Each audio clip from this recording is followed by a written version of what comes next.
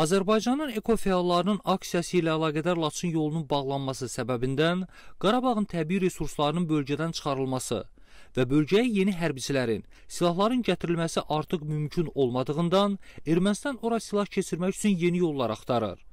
Bunu real açıqlamasında qeyri-qanuni erməni birləşmələrinin Qarabağda törətdikləri təxribatı şərh edən Rusiyanın Siyasi Araşdırmalar İnstitutunun direktoru Sergey Markov bildirdi.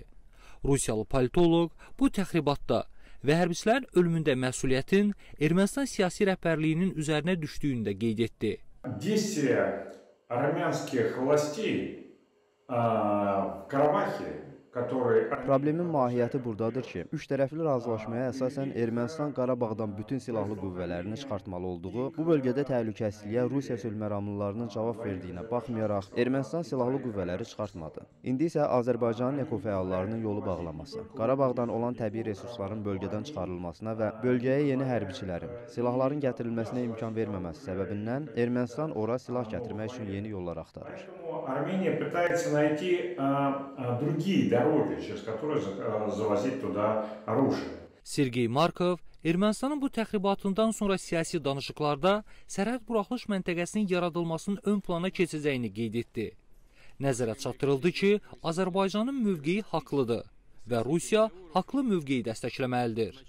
Последствия будут очевидны, что Азербайджан будет требовать значительного ужесточения контроля над передвижением военных грузов армянских, ну, чтобы не было там armянской Ermənistanın hərbi yüklərinin hərəkətini məhdudlaşdırmaq üçün Azərbaycan nəzarəti gücləndirməyi tələb edəcək. Ondan ötürü ki, razılaşmada olduğu kimi Qarabağda erməni hərbçiləri olmasın.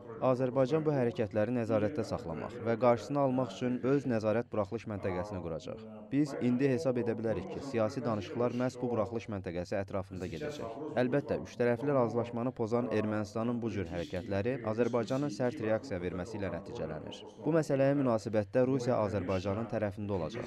Çünki faktiki olaraq Azərbaycan haqlıdır. Azərbaycana, который готов весьма жестко реагировать на, на такие действия Армении в грубом нарушении трехстороннего соглашения. Россия сейчас в основном будет на азербайджанской стороне. И потому что Азербайджан по факту Qeyd edək ki, martın 5-də səhər saatlarında Xankəndi Xələfi turşusu torpaq yolundan istifadə etməklə Ermənistan Rusiya sülhməramlı kontingentinin müvəqqəti yerləşdiyi Azərbaycan ərazilərinə hərbi ləvazimat, silah-sursat və şəxsi heyəti keçirməyə cəhd edib. Bu zaman yaranan silahlı insident zamanı Azərbaycanın iki hərbçisi şəhid olub. İqbal İlqaroğlu, Real televiziyasının Rusiya bürosu, Moskva.